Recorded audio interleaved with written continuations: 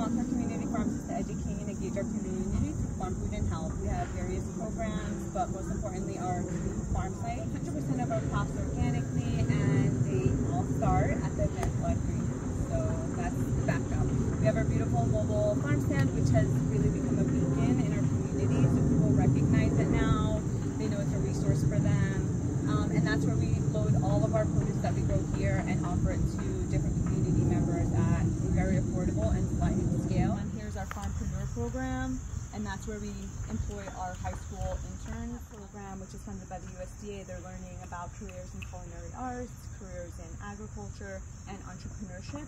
And they're basically tasked to come here, run the farm, learn how to cultivate plants, then make value added products. We also grow enough seedlings to actually offer to community members in addition to our plant sales. Realize the importance of growing food in urban settings or in small cities um, because food insecurity is a real issue. So the grant actually specifically supported our work in the greenhouse. So most importantly was the startup cost, so all of the seedlings and all the supplies that we needed.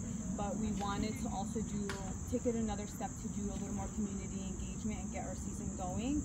So we actually ran a program called Senior Wellness Friday, where we offered a two-hour time slot every Friday for seniors who wanted to come in and volunteer, um, which was amazing because, of course, the greenhouse is a blessing to be in, and we love getting our hands dirty.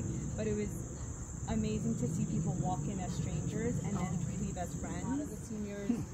don't know where these markets are, may not have the transportation, may not even be able to walk to or into these markets. Literally serviced her in the parking lot. She didn't have to get out of her car. It's like, tell me what you want. We'll get everything ready. And honestly, like, I was having such a rough day, and she's like, you guys are angels. And I was like, this is why we do the work.